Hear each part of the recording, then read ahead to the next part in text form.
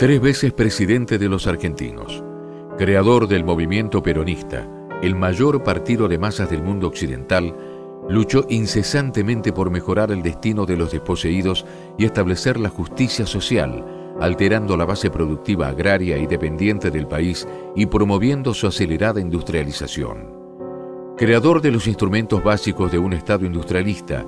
Perón en solo nueve años de gobierno nacionalizó la empresa petrolífera YPF, la red de ferrocarriles, el comercio exterior y los depósitos bancarios. Además, creó agua y energía eléctrica, gas del Estado, aerolíneas argentinas, líneas marítimas del Estado, la Comisión Nacional de Energía Atómica y el Centro Atómico Bariloche, haciendo particular hincapié en el desarrollo tecnológico como factor clave de la independencia económica. También creó el CONICET y la Universidad Obrera, estableciendo la gratuidad de toda la enseñanza pública.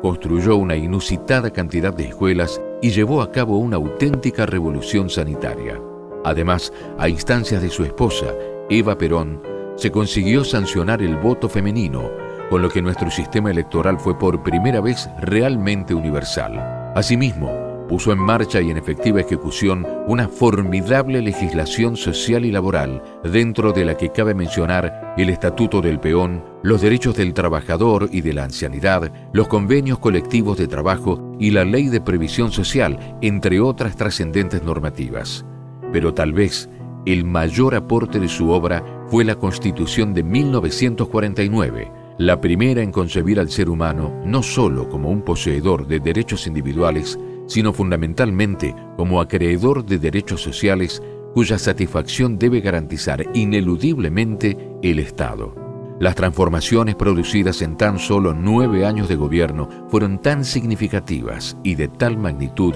que, mientras fue principal obsesión de todos los gobiernos posteriores a 1955, anularlas y volver atrás, al mismo tiempo garantizaron a pesar de las persecuciones y las campañas de silenciamiento y difamación, la vigencia tanto del movimiento peronista como de su líder, quien pudo regresar al país recién tras 17 años de exilio.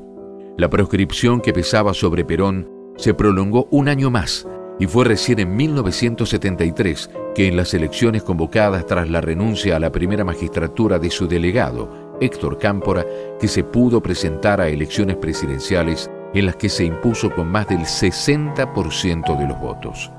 Lamentablemente para el país, su salud estaba seriamente deteriorada y su edad era muy avanzada, por lo que pudo gobernar apenas unos meses. El país igualitario, justo, pujante e industrialista que creó, solo pudo ser destruido tras 45 años de dictaduras, masacres, asesinatos, gobiernos débiles y también gracias a la defección de hombres de su propio partido. Veo en mis oídos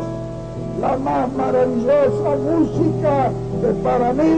es la palabra del pueblo argentino.